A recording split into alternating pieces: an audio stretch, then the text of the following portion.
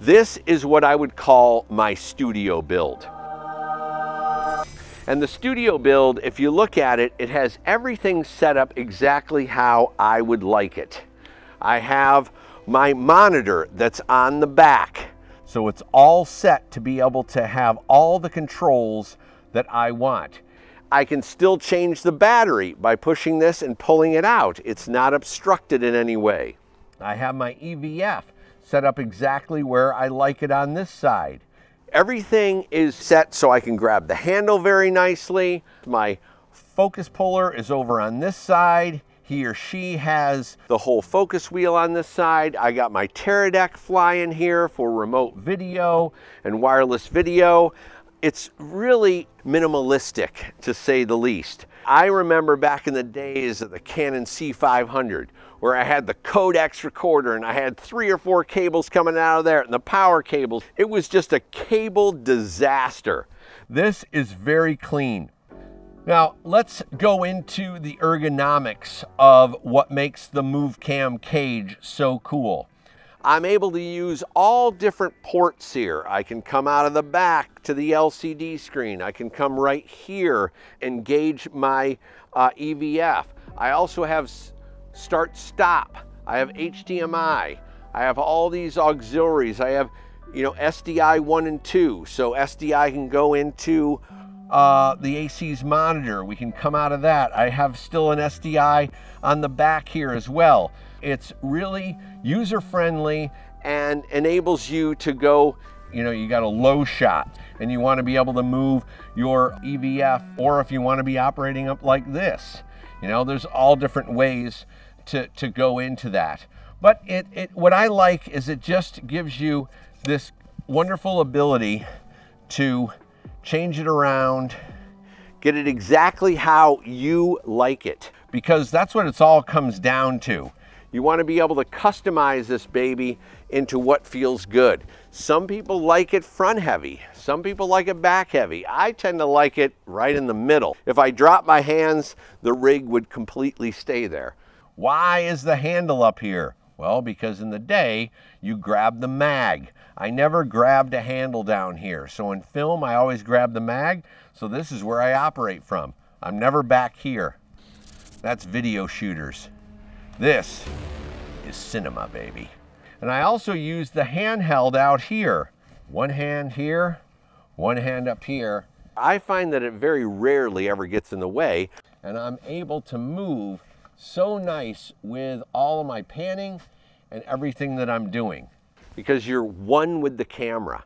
And that's what I really love about this setup.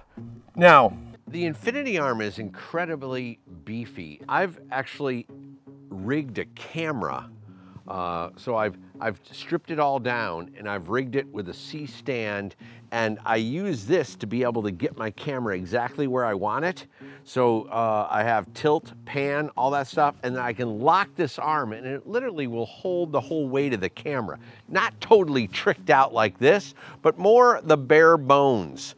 So, you know, a lot of times I'll do, you know, quick overhead shots where I can just rig it right up to the ceiling. You know, you're dealing with nine or 10 foot ceilings. So I'm able to just literally clamp it with that uh, infinity arm and get that overhead very quick. Now, let's talk about PL mounts for a second. The one I absolutely love on the red now is this black one because it has these nice flanges here that is much more film style. So you can grab and get in there. The titanium mount is this silver mount and it's a little hard to get in there and there's not anything to get your nail on and crack it. Sometimes those lenses are so tight, so I'm really into the magnesium mount. All right, let's talk follow focus here. We're rolling out with the Movcam system right now. The ergonomics are very nice. Uh, it's very smooth. And again, what I'm talking about is you being able to afford this system. If you're going with the ARRI follow focus, we're talking six to eight thousand dollars. This system all in is under 3,000 bucks. I'm talking to you about stuff that works. Uh, and is not going to break the bank. It has total adjustability. I'm able to slide this rail in and out, no problem. Changing lenses, slide it out, put it back in, lock it in. I'm able to adjust how tight this is. There's different gear ratios that you can go on all. There's different gear uh, you know, speeds, so you can go much faster with your racks. So it gives you a whole uh, wonderful play kit uh, when you're using this Movcam system. You have speed crank handles, you got the big, uh, you know, uh, whips that you can come way out here uh, to focus that you clip right in here and you got your whip out here. All these different types of things come in that kit. It's not an extra add-on. That's what's so cool about it. If I'm on my movies, I'm definitely rolling out with the ARRI follow focus. That's what all my ACs love. But when you're owner operator and you're looking for stuff that is going to not break the bank, this is a great setup and it's going to be tried and true and work for you.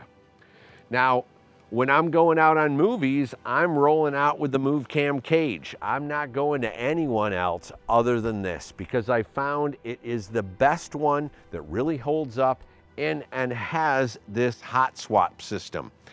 The hot swap is so essential with the red. When the red goes down with power and that has to boot back up, it feels like it takes 17 hours to come back up when the director and the AD are saying, uh, can we go? What's happening? When is this camera going to come up? What's going on? Can we go? Can we go? And it takes something that only is 35 to 40 seconds and turns it into 17 hours with stress. So with the hot swap system, I am able to literally eject this battery and it immediately starts counting down. So you can see 113, 112, 111. So now I'm gonna, I got my new battery now. And once it locks in, it's back up to 143 seconds. So this hot swap is huge. And this cage system is, again, very inexpensive. It's there for the filmmakers, for the owner operators, and for the professionals. So it's, it's a good system. And like I said, I, I, I've tried so many of these, I want something that's gonna work. The reason for the monitor back here, which I really like, is Red makes it very, very easy to access all the controls and they do it all on their touch screen. So I'm able to change color temp, I'm able to change shutter speed, ISO, you know, frame rate, all these different things I'm able to go in and change 5K, 6K. So having a touch screen that's very close is incredibly important. And with this, I got my first AC that's over here pulling focus, and then he can just da da da da da access that, and he can go back to this. If I want to change something, I don't have to say, hey, could you change that? I can just go back here and change the little thing and then get back into it as well. It makes the center of attention this touchscreen, which is kind of how this camera works. This is the Matthews Infinity Arm, and I really love it because it, it doesn't bind like a Noga arm, and it really locks beautifully. And it's kind of beefy, but I like it because it's adding weight to my setup. And I'm all about adding more weight onto it. Now you can see I've gone with the Blueshape battery here that again isn't the tall block. I have this setup, which I absolutely love. I'm able to check my battery here. I have my hot swap, so I'm at 140 seconds before this baby goes down. I'm able to go right here, and if I want to, I can use the Blueshape power station. Now, you have the Anton Bauer VCLX. Now, what makes this better? Well, because not only does this system completely waterproof. You can throw the damn thing in a pool if you wanted to. Oh, we just happen to have one over here. No, just kidding. But you have a full system of batteries in here. You can put 180s, you can put 240s in here. Can you give you 48 volts or 28 volts? It also is a charger and I've clamped these to the back seat of cars and I'm able to power up two ARRI SkyPanel S60s for four hours just on these batteries. So it's an impressive system where other ones do not do this type of stuff. And I'm able to close it right back up. And I can get into and power up my camera as well. Let me put in some neutral density. Now, with the red camera, the internal NDs don't really exist. The motion mount is something that I was really never a big fan of. So you're still locked into putting NDs in front of your lens, which can cause several problems. You can cause double and triple reflection. There's a lot of things that putting glass in front of the lens can kick your ass, let's say. But Kippertie, which is a company in London, has come out with an internal wheel called the Revolva. You can get either a PL mount or an EF mount. Now that's a really cool thing to kind of look at because it clamps right onto the camera and enables you to get internal NDs, just like the wheel. So like an Arri, you know, Alexa Mini has internal NDs. This is going to be the same type of setup, which is very exciting. I can't wait to strap the, the Revolva on this camera. But when we don't have that, we turn to Tiffen with their new natural NDs. And you can kind of see it has a, a beautiful quality. This is a full IR cut. It's a full spectrum filter. And uh, I've done a ton of testing with these filters and we have got them in the pocket right now.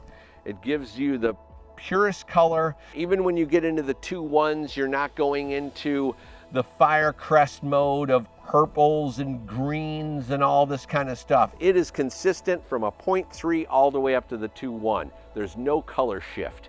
And this is a big deal.